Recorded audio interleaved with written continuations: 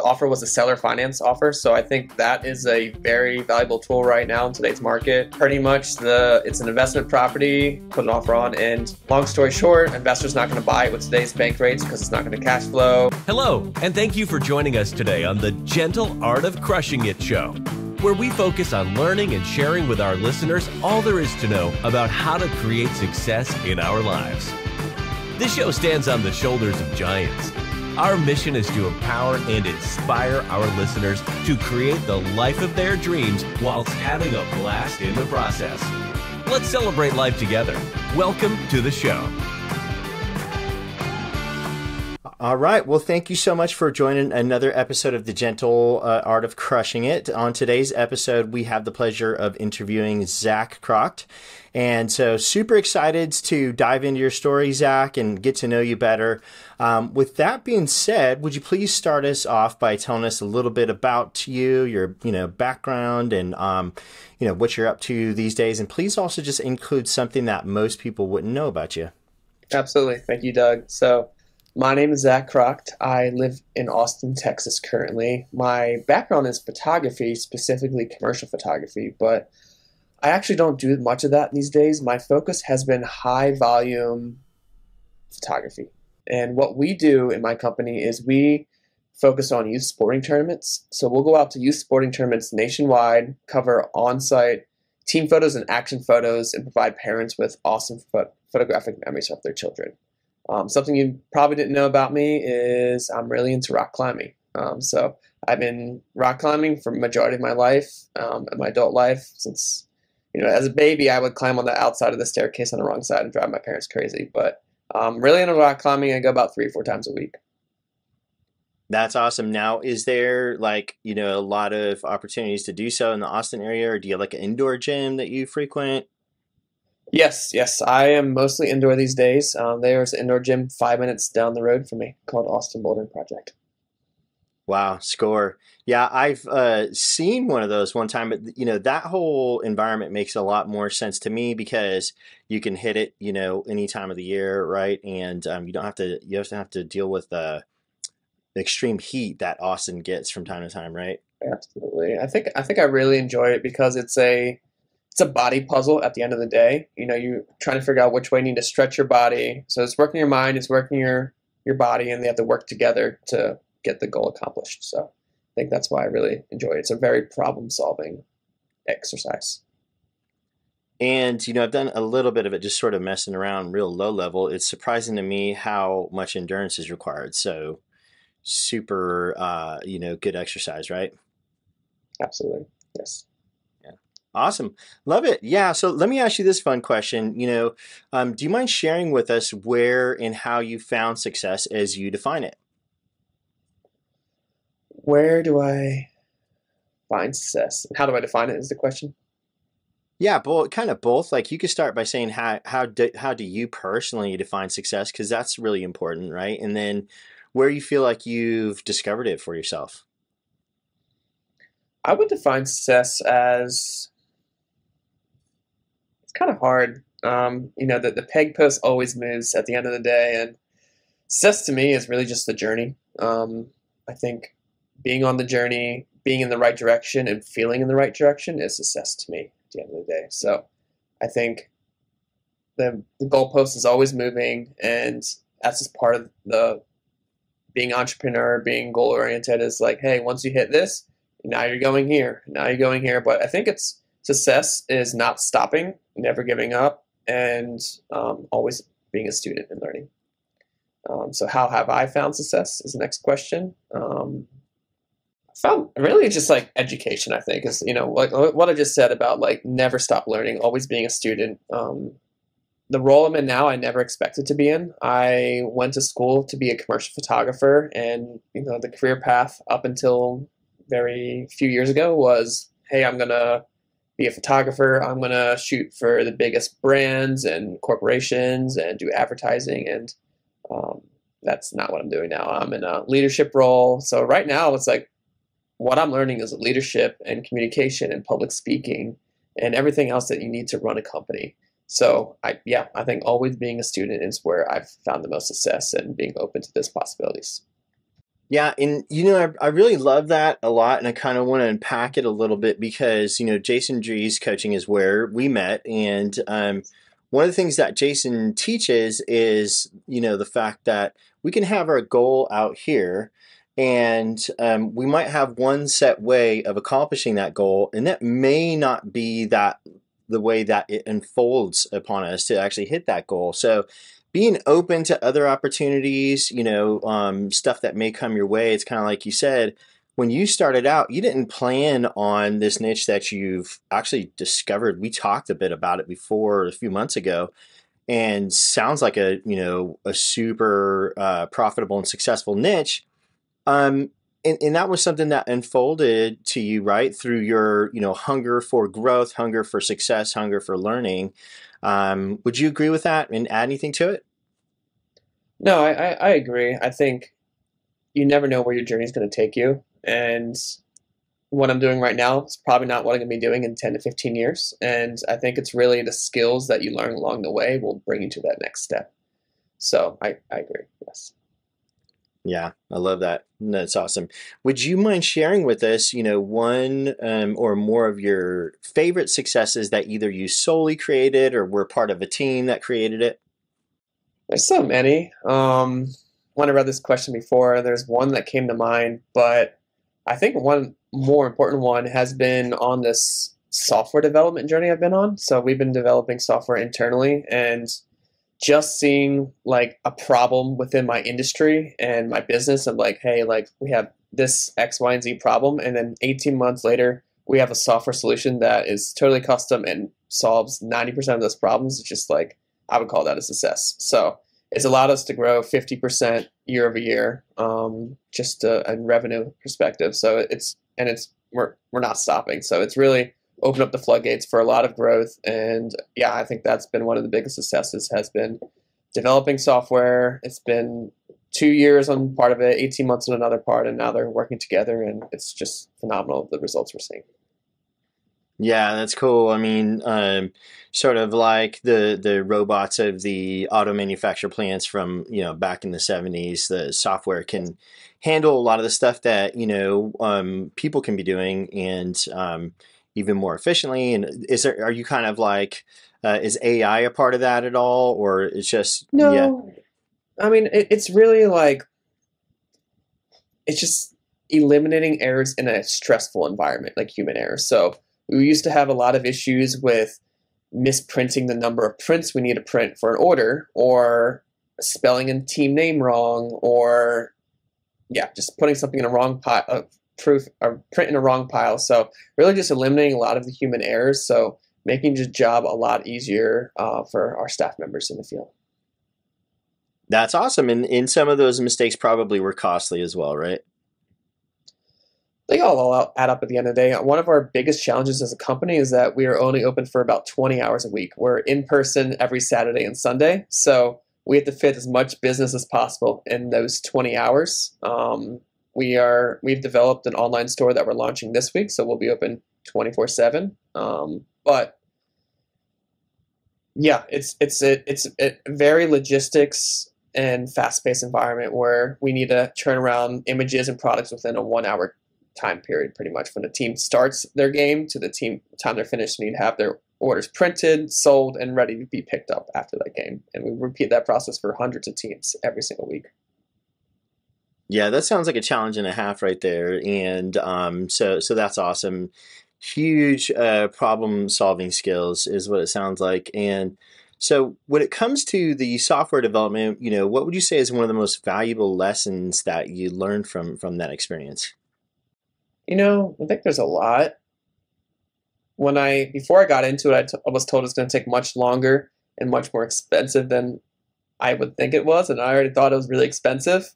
So, you know, the first batch of software we we built, I'm like, okay, yeah, this is what we're going to budget towards it. And then now, six months later, we, not six months later, about it, nine months later, we were like, okay, we're going to need to do another batch that's like 80% of the cost, original cost. So it's like, you know, almost double the original cost we've budgeted out for it. Um, but really just patience, I think. It's like, we've been having these issues for years and it's really frustrating in the moment. It's like hey we're building the software. It's six months away. It's nine months away. It's three months away where we, we have a solution for this problem. We're building it but we're still facing that problem day to day and it's really frustrating to see. It's like okay we've already mapped out the solution but the delivery of that solution is just taking a lot longer than we would like. So patience i would say. Yeah you, you know it's interesting. My dad used to always say to me patience is a virtue and um, it's such a hard skill to master, if you will. And I don't know if like a human can master it, but we definitely all have like a lot of room to grow with it. And I could see how that scenario in particular would really require a lot of patience, faith, and then also like expectancy that this is going to be successful. You'll be victorious at the end of the day. So long view, right? And um, but yeah, I love that. Yeah, I would say doubt definitely has creeped in a few times, and you know, is it present?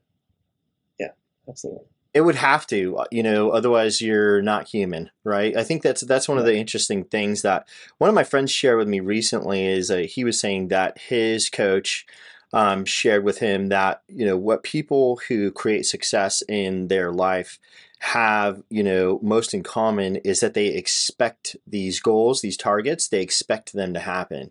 So continually yeah. going like, oh, I'm getting beat up and we're down in the dumps and this thing looks like it's impossible to turn around, but we expect to turn it around. So let's get focused back on that. And, you know, what does that require? Right. Absolutely. Yeah.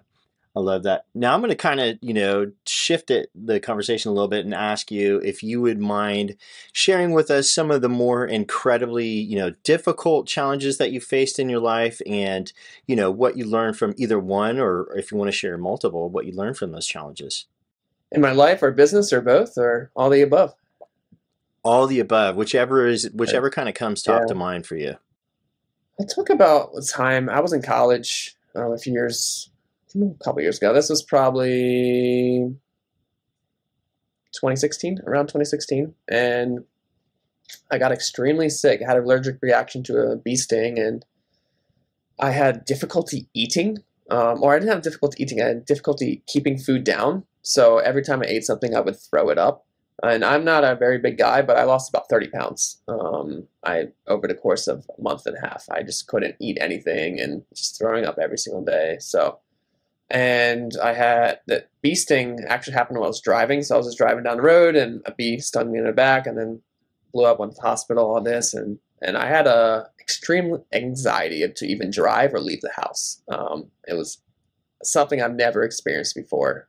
Um, so it, it was like I was losing weight. I couldn't eat. I couldn't leave the house. It was all mental. Like I couldn't go to classes. Um, and my mom came and lived with me in college, which is a little awkward if you can imagine you're you're 20 years old and your mom's living with you in your college roommate's house sleeping on your couch and i really appreciate her for for doing that. But yeah it was a very difficult time in my life trying to navigate that process and i think i bring it up is because yes there was a physical aspect of it like i couldn't eat and would throw up and not gain weight and really like was lightheaded all the time but it was also the mental mental thing block of like i feel like I'm gonna die every time I leave the house because there's gonna be the a bee that flies into my car and stings me again, and I'm gonna, you know, have my epi my EpiPen with me now um, all the time. So it's like, you know, yeah. So I had a lot of fear and I overcame that. I think that's one of the more challenging parts I've experienced in my life, and there's there's been many, but that one definitely sticks out as a time that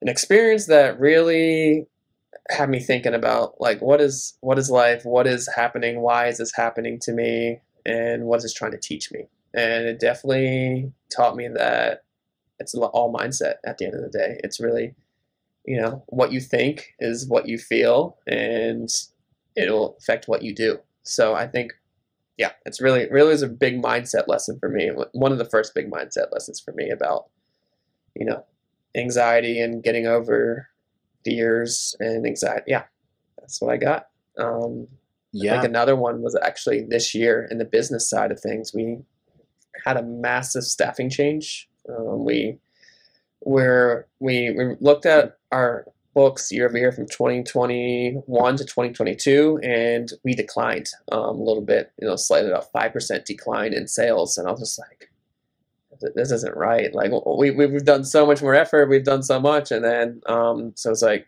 really it was like inflation ate up a lot of our uh, margin at the end of the day. So we're like, okay, we need to raise our prices. We need to change our pay scale because we were paying by the hour, and we finally developed software where we can start paying people uh, base plus commission. Um, we can easily track it by person. So did that. We had a totally restructure of our operations. We brought in someone, um, had to let them go uh, eventually after a few months if they just weren't the right fit. We had a very key team member leave because of bringing that other person in and it wasn't a good fit and they sold on walls, but I didn't. And um, I mean, this, this whole year has been a whirlwind, but I'm really excited where we're at nine months later. I think it's definitely been the most challenging year in business by far this, this year, 2023. And I think it's gotten a lot easier as we've progressed through the year and worked through so many problems. Um, and we are primed for probably another 50% or more growth next year with what we have set up going. So I'm excited. Score.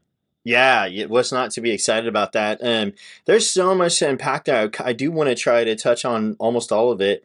Um, so I'll try to remember. But for starters, um, I would say that I can sort of relate um, to the anxiety that you felt after that um, bee sting. Um, you know, I was in a, I was, I've been in a couple car accidents, right? But one, um, I remember afterwards not wanting to drive, and then I even remember for maybe even weeks afterward being on the freeway in the slow lane doing like 40 miles an hour. I was really freaked out, and um, I think that, you know, right along with that is the mindset, the mentality, and you see this in sports injuries where you you you, you sprain an ankle or, or break a bone or something like that, and then you go back to your sport of choice, and you are way more timid than you had been right up before that moment. Um, and so the way that I remember sort of Tony Robbins explaining this is that one sort of you know um, giving in to the temptation of a negative thought or stinking thinking, like Zig Ziglar would say, leads to another, leads to another. You're on a downward spiral at that point. So you have to, you know, pull your head out of it at some point and start to choose like the the path of progress, choosing, you know, positive attitude, beginning beginning to like, you know, say to ourselves that no, I actually want these dreams. I actually want these, and these are out here on the other side of my fear, which like you know you still have to walk through the fear. So um, you know kudos to you for doing that. That could be one of those things that happens to people that completely derails their lives. They could it could lead to the end of their life or a very you know horrible existence and you chose you know the the the um the better path right for you and i would just say the better path in general. So kudos to you because you didn't let that destroy you. Yeah. And uh, I wanted to also touch on 2023. So, for a lot of people that I talked to, it's been a really rough year. And I guess you could say inflation, but other things, right? Um, so, um, and with that being said, you know, like um, in, in real estate and in business, um, this is my belief and my understanding is that when we learn to not only just survive during the hard times, tough markets, so on and so forth, but learn how to strive and excel in those tough times, we're going to be way better off for it. For so when the market turns turns around, we're you are going to be you know super excelling at that point, right? So, um, you know, I think that just looking at your projected uh, growth over the next year, another fifty percent, that's huge and insane and you know everybody knows that that's like huge massive right? And so to have gone and like wait something's off here. Let's figure it out as a team. Whatever the solution is that's what we're choosing and then implementing that right along with everything else that y'all are doing in your software. And um that's that that, that you know just speaks um boldly of great leadership a great team and um, that y'all have a very bright future, right? So I love that. Yes, yeah, I think I I agree with that. I mean, when everyone's fat and happy and dancing, it's easy to get by, but when the tide turns and there's more difficulty, it makes you so much more efficient and better product, better customer experience, and overall a lot. You know, we, we've kind of seen that over the past. You know, I really started this business in 2019 and then six months into COVID happened, and then we had to start over, and then we yeah, just been it's been a lot of change, a lot of growth, but really just like seeing the tough times come the pat last year and then this year, I think it we've doubled down on our investment into technology and efficiency and customer experience, and it's it's finally paying off. Um, but it's, it's a long game in the end. It's you know really thinking of like what skills can we acquire now that will pay us in two or three years, and it's been it's really cool to see like adopting that mindset two years ago, like, oh yeah, I'm gonna do this and learn this, um, and then now it's like, oh okay, yeah, like that's finally starting to pay off, and what I'm doing now is going to pay off in another few years. So it's definitely it's definitely a long game. Yeah, that, that sort of um, you know reminds me of this other uh, phrase that Tony Robbins says a lot is like, which is we overestimate what we can do in one year and underestimate what we do in five to ten. It's so true. If I go out there and start pull ups, you know, a habit of pull ups this week, and I do it for four or five days in a row, next week there is a part of me, honestly, that is going to go, where are all my results? Why am I not past five pull ups? And this isn't working, I'm quitting, right? So, like again, back to patience. I think that, you know, that that word there would just or the the word the act of patience and strengthening our patients muscle as a global population would pay huge dividends in in uh you know in in everything right? So. Absolutely. Something i've kind of adopted this year to keep up with my physical fitness is a three minute plank. So I started a year doing every day a three minute plank. It's something I have time for. It's something I can do anywhere, no weights or anything required. And I've been decent at it. I can't say I hit it every single day, but I would say 80% of the time. And, you know, when I first started doing it, three minute plank was forever. And I went the other day without stopping for six minutes. And it's nine months later, I'm able to double. Um, and I'm sure, like, maybe another nine months from now i'm able to do 10 minutes. So yeah it just like it feels like a long time when you're first starting out and it's going to take forever but once you get that habit in and it's, it's second nature. Yeah planks are interesting because they don't seem like they're difficult and i would never bet you know against myself but if i was to bet somebody that I can do three minutes right now i'm probably going to lose money on that one right? So um yeah and it's it's interesting what it does for your core right? So that's awesome. Sure. and i and i think uh just the fact that you define something that you know you could you always have time for you can do it anywhere. Um, you know these are sort of like life hacks that are you know i mean worth their weight in gold so so that's awesome.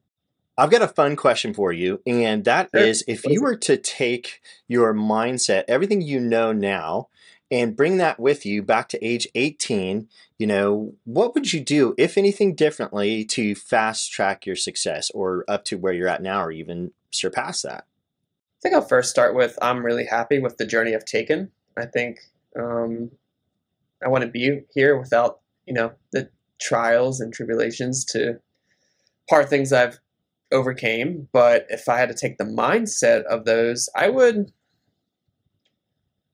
I would probably surround myself with people who could mentor me. Um, I did have one Ralph who taught me my entire the business I do now. Um, he mentored me for five. I worked for him for five years, learned a lot, but I really think you know surrounding myself with a better mentor or working for them, I think would definitely fast track a lot of stuff that I know now. Um, I think is really really the key to the game is during that age period. It's like you're impressionable, you can learn a lot, you can outwork physically outwork a lot of different people. So I think really surrounding yourself with people who you where you want to be they're they're at where you want to be in 10 years. So you find that 30 30 old or 40 year old who's has 15 20 years of experience and get their wisdom is really what i would suggest. So seek more wisdom. Seek more wisdom and i think you also mentioned something about you know so if we're dreaming bigger we will seek out mentors that are more successful which then will draw us up to you know a higher success level also right? Yes correct a concept that I've been, you know, um, sort of, I guess, just mulling around in my brain for like the last, I guess, year or so is that ex- for the exact same reasons or, or, similar reasons that we, you know, define a criteria or a buy box for our real estate investments, we want to use that in other areas. So, like, where can we use that that will save us time so we're not spinning our wheels underwriting deals that don't fit our buy box, for example, or Um, you know, but one of those one of those areas that I've defined is in mentorship. So there are, you know, hundred thousandaires out there, there are millionaires out there, and there are billionaires out there. In every single level you're going to find like less mentors, but you're there. So there's still going to be a plethora of mentors, even at the billion dollar level. So with that being said, why have I not begun my, you know, reaching out with billionaires yet? Well, I don't know. Maybe it's because I fairly recently uh, defined that, but I think that concept is is so powerful and important. Is mentors and choosing our mentors wisely, giving ourselves like, you know, the value. Like we have a lot of value to offer, and we have this amazing life. What are we going to do with it? Valuing ourselves, our time, and then you know obviously other people's of course you know so. Yeah i agree and i've used that framework in other aspects and the thing that's been helped me the most has actually been hiring lately so you know you have the buy box of for real estate and you're like hey i want this deal this location hits all these criteria but for me you know i've been really on the hiring craze and i think that's what's what's going to take me to the next level is hiring the right people and with the right skills and criteria so I we started with our basic level of our hiring. is called our team member, and we thought, okay, like what screening process can we do, or what you know, what interview questions do we need to ask? And that wasn't really the right question. It's like what internally do we need to ask ourselves to know this is the right candidate? So we came up with three different things. Is this person outgoing? Is this person coachable? And do we think they are like nice to talk to or be good to talk to? And if we answered yes to those three things, we think we have an 80% success rate at the end of the day. So how we did that is we've done video interviews. So they submit a video interview and for just for the process of submitting a video of you talking to yourself on camera, you have to be outgoing, you have to be, you know, decently good at sales and you have to be humble to do that. So that has filtered out 95% of our applicants and then the people who we get through that process who submit a good quality video, present themselves well, we have an 80 to 85% success rate. So I've been doing that for, we've done it really successfully for a basic level team member, and we're now I'm trying to do it for management side. So it's a couple different questions I need to ask myself, but really just building that framework from working backwards has helped me tremendously. And that's, you know, you know, finding your buy box, but working backwards around it. Like, what questions do you need to ask yourself to be sure that this is the right person? Yeah, I love that. And, you know, a couple things that I pulled out of that is, you know, one, humility speaks to is this person going to be handling customers well? Um, and you touched on um, customer service earlier. I think that's one area where all businesses, you know, should take a look at because you can um, really set yourself apart from the rest if you take really good care of your customers, right? And, and it's super valuable. So I love that you and your team focuses on that as well. We're trying our best. Yeah. So let me ask you this because I know that um, we talked a little bit about this, but are you still investing in real estate? If so, what do you like? What are some things that you notice with today's market? and um, any any sort of value bombs you could share with the audience about that. Totally. Haven't bought anything in over a year. Um, I put in an offer last week, so still looking. Um, the offer was a seller finance offer, so I think that is a very valuable tool right now in today's market. Um, pretty much the it's an investment property, a single family. I put an offer on, and uh, long story short, investors not going to buy it with today's bank rates because it's not going to cash flow. A and a uh, owner occupant can't get it because there's a lease on the place, so they can't move out within 30, 30 days. So pretty much like has to be seller finance for it to go through. So didn't like the terms that the seller actually wanted, so we didn't go through with that. But um, right now, we are looking for seller finance deals, and then I do long-term rentals. Um, I do have one short-term, but mostly focus on long-term rentals here in Austin, Texas, and then also North Carolina. So looking at a couple more long-term rentals with creative finance, and then something we are doing is we have a big lot here in Austin, so we are going to be in the process of building ADU at some point, but we'll probably purchase it uh, build it cash, and then we'll do a big refinance of the whole property once rates are where we like them. Um, so, you know, kind of optimizing properties is where we're at, and then trying to add a few more, but we're not really going as heavy. We're really just stacking cash, and we're focusing on business at the moment. Yeah, it's a little little tougher for real estate investors right now. You've got to do some different things. I love the seller finance, and um, I've gotten to the habit on every property where I approach the owner. I'm going to ask them, you know, if they're if they're open to owner finance, just because you never know. Some, you know.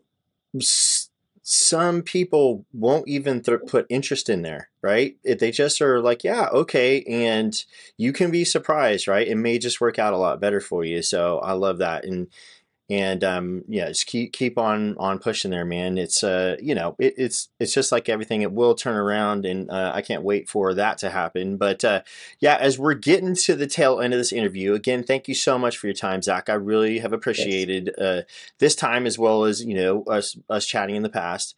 Um, can I ask you to give us one book recommendation and one tech recommendation, either or? You can do multiple on those um, or or just you know just one? I'll give tech recommendation if you are doing anything with recruiting or sales or marketing. Um, there is a tool called Video Ask. So I do it for all my interviews. I do it for collecting testimonials. Um, pretty much, it's face to face video interaction. So I can post pre-recorded videos of myself talking to the camera, or even doing something creative like walking through a scene or anything like that. The sky's the limit. But you can use it for onboarding, and it's just really interesting tool. But the person will give replies for uh, if they have any questions about, like, about the position or if they're onboarding, like, hey, meet so and so. We have a as a meet the team option as well. So I do a pre-recording, introduce myself, I pass it to my team member, they pass it to their next team member, and there's so many different options in there. I think even coaches can do that as well. You can take payments through. You can set up Calendly links. Um, so I think that's the biggest tech thing I would suggest, especially making your you have a personal brand and coaching, anything like that, really connecting with people. I think it's a great platform to use. So that is called Video Ask. But how to pick a book? Let me look at my bookshelf here. I'm going to go with The Gap and the Gain. I know a lot of people like that book. It's a, a great book just to practice gratitude and um, appreciate the journey. Yeah, I love that recommendation. I just finished it not too long ago. And this conversation with you has actually reminded me a lot of Who Not How by the same authors, right? So, um, had you read that book, and and would you give that five star review as well? Absolutely, great book, and um, they have a new book out. Is that is that correct? Let's see. There's the Maybe. Gap and the Gain, Who Not How, and yes, they do. 10x is easier than 2x. I did read that yes, one also. That's right. I was going to make sure good. I was correct. Uh, yeah, it's on my it's on my kitchen table. I haven't started reading that yet, but I, I purchased it. I think anything they do, and then I, I, just like through that book, I think, or one of maybe it's the gap and the gain. I now am, you know, understand that Dan Sullivan wants to do a book like every month or something like that. So that he has a ton of short books out there. So those are all okay. on my wish list now because I just love the way he thinks, and so super excited to dive in those. And again, as we're wrapping up, how can our audience support you? Is, it can, is there any type of deal markets that they can bring to you? Um, you know any way they can support you and how you know what is how could they connect with you? What would be best? Yeah i'm most active on instagram at zach.kracht um, i do a little bit of everything so if you want to talk real estate in austin or western north carolina happy to talk about that happy to help any way i can.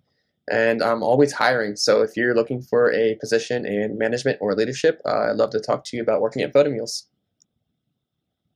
I love that. And um, now, do you is that the name of the website, photomules.com?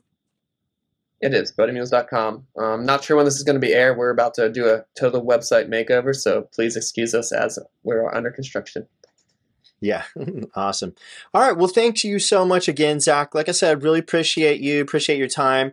I'm going to go ahead and wrap this up. So thank you all, you know, to everybody listening and watching for, yeah, checking out another episode of The Gentle Art of Crushing It. Please reach out to Zach, you know, today. Well, there you have it, ladies and gentlemen. Another episode of The Gentle Art of Crushing It. It was an amazing episode. We know we sure learned a lot, and we hope you did as well. We want to take a second and thank you so much for viewing or listening to this episode. And please just know that we only ask for one favor, and that is to make this life magnificent. Thank you, and have a wonderful day.